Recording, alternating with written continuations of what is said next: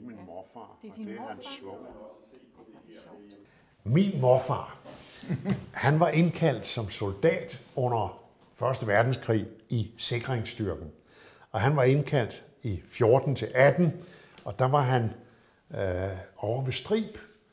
Øh, vi havde jo ikke nogen lillebæltsbro dengang, så det kompani, som min morfar var med i, og han står her et sted, Øh, de skulle forsvare færgehavnen ved Strib. Og I kan se, her står hele kompaniet opmarcheret, og med kaptajnen i midten her, og her er hans hest, og det, er det er meget flot.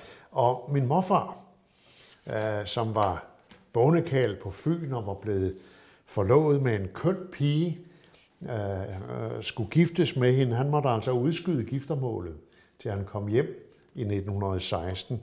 Og det er min morfar, der så sidder her i midten, og, og det er hans fremtidige svoger, der står her. Han har fortalt mig meget, og især da jeg var dreng, har han fortalt om de år der, hvor han lå i sikringsstyrken, og, og det, var, det, var, det var lidt strengt. Er der en historie, han har fortalt, der har gjort særlig indtryk på dig? Jamen, det var det der med, når de skulle have gule ærter en gang om ugen. Fordi gule ærter, det var altså... Det var, han, han fik sådan helt, helt våde bedste. øjne over, det var det bedste.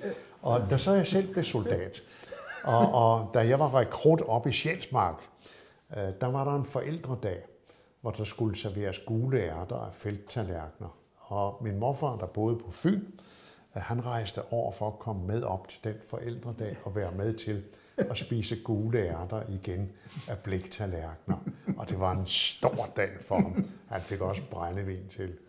Jeg har desværre ikke øh, et billede med af min kære onkel Niels, øh, som var, blev postbud resten af sit liv, øh, som var født i 1893 og indkaldt, øh, jeg mener med nogle få afbrydelser i flere år under 1. verdenskrig, lå hernede øh, ved den sydlige del øh, af, af, af, af befæstningen.